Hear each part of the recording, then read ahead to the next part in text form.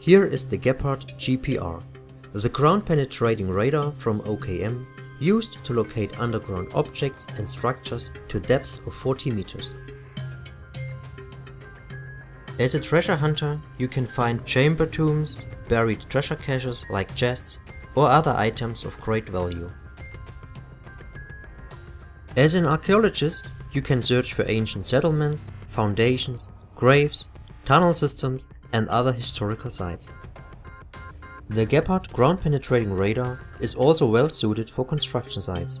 You can locate subsurface pipes, conduits, gas lines and other buried utilities. The Gepard GPR can be powered with 8 rechargeable AA batteries or with the optional power pack. The operation of the unit is conducted using the multi-function button and the depth adjustment knob. There are 16 different depth adjustments to choose from.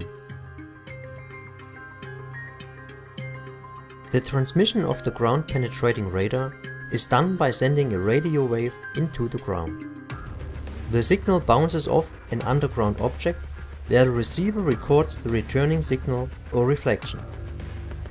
The collected data is sent via Bluetooth to the tablet PC. In the tablet PC, the measurement is calculated into a graphical image for analysis. Using this method of detection, hidden subsurface targets, geological structures and substrates can now be seen. Various filters to control colors and ground types allow the user to see the exact depth and position of the object.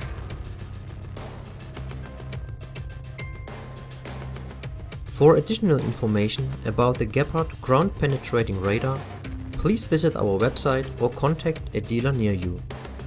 There you can arrange for a comprehensive product demonstration.